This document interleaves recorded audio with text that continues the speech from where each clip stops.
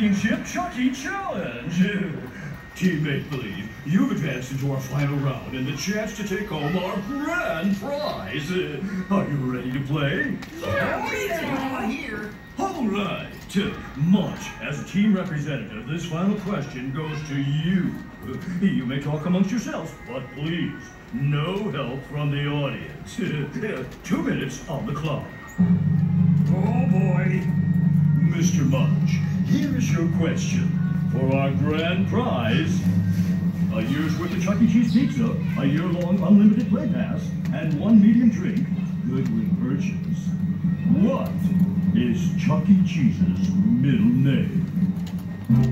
Oh, it seems like I should know this. What do you think, Munch? Hmm. Question put before us is regarding Chucky's middle name. The answer will determine if we win or lose this little game. We can list a list of words beginning with the letter E, I bet between the four of us we'll come up with it cleverly. I bet between the four of us we'll come up with it cleverly. Uh, let's see here. What could it be? Perhaps it's education for the things he's always teaching us. Or maybe it's empathic for the way he's always reaching us. How about exercise because he lifts the weight so mightily? I don't know, Pasqually, that just doesn't seem quite right to me. But maybe it's endearing for the way he is so dear to Or us. possibly enduring because he's there year after year for us. Perhaps examination for the way he is so studious. I really am embarrassed that the answer is eluding us.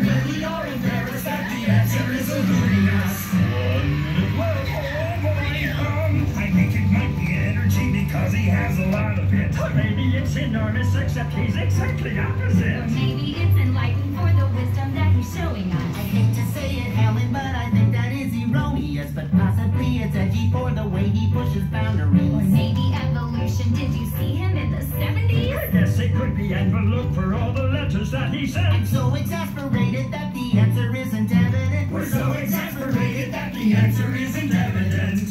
30 seconds to go. Oh no, I think it might be No, he doesn't seem that dark to me. Perhaps it could be element. He's not that into chemistry. Or maybe it is engineer. I've never seen him on a tree, but maybe it is epic. Oh no, please let's not do that again. Guess it could be emu or electric or emotion. Or maybe it is elephant or plant or explosion. Or maybe it's emoji like the text he sent me yesterday. Running out of time, so I'm just going to take a guess and say we're almost out of time, so he's just going to take a guess and say esophagus. Really Munch? Chuck esophagus cheese? Uh, is that not it? no! My middle name is Entertainment. Entertainment. Well, yeah. My middle name is Entertainment for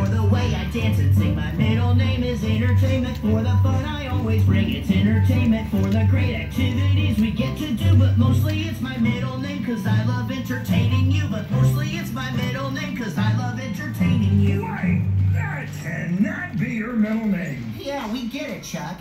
You're very entertaining. Personally, I kind of liked emo Chuck. Yeah, and he looked cute in his little engineer hat. No, guys. My middle name really is Entertainment. Next, you're gonna tell me your first name is really Charles. Actually, Chuck is short for Charles.